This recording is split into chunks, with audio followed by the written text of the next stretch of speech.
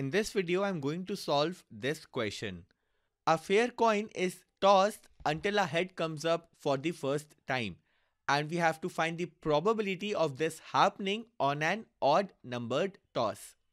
So first of all note that we are given that the coin is fair. So that means probability of getting a head is equal to probability of getting a tail and this is equal to 1 divided by 2. And we have to find the probability that the first head comes on an odd number toss. So first let's list down all the outcomes. So let's say this is the event S and the first possible outcome in this case is that the head comes on the first toss. So the first possible outcome is H. The second possible outcome could be tails on the first two tosses and heads on the third toss. So it's TTH. Similarly, the third possible outcome could be TTTTH. So tails on the first four tosses and heads on the fifth toss. And similarly, we could have six tails. So six tails and heads and so on. So these are the possible outcomes that we have and we have to find the probability of S. Note that we can write that probability of S is equal to probability of the first outcome plus the probability of the second outcome plus the probability of the third outcome and so on. And we are given that the coin is fair. So this probability is 1 divided by 2. This probability is 1 divided by 2 cube plus this probability is 1 divided by 2 raised to the power 5 plus the next probability would be 1 divided by 2 raised to the power 7 and so on. Now we can take 1 by 2 common from here and inside bracket we will have 1 plus 1 divided by 2 square plus 1 divided by 2 raised to the power 4 plus 1 divided by 2 raised to the power 6 and so on.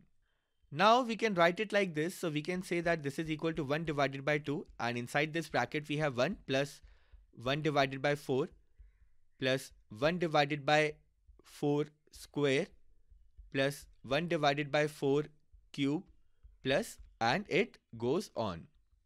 So now we have to solve this equation to find the answer. Well, to solve this part, so to solve this part of the equation, we can use Taylor series approximation. So we can use Taylor series.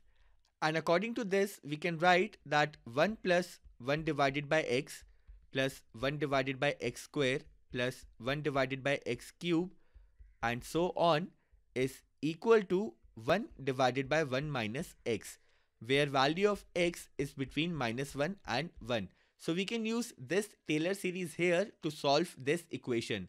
Note that in our case, we can say that x is equal to 1 divided by 4. So this 1 is equal to 1 divided by 4 raised to the power 0. This is 1 divided by 4 raised to the power 1 and this is 1 divided by 4 raised to the power 2 and so on. And also note that our x is between this range. So it is equal to 1 divided by 4. So now using Taylor series, we can write that this is equal to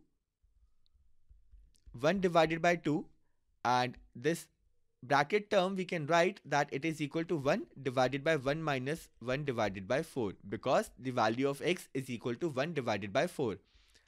And now solving this we get that this is equal to 1 divided by 2 1 divided by 3 divided by 4. So this is equal to 1 divided by 2 multiplied by 4 divided by 3 and this is equal to 2 divided by 3. So the required probability is 2 divided by 3. So that means the correct answer is part C. And that's it for this question.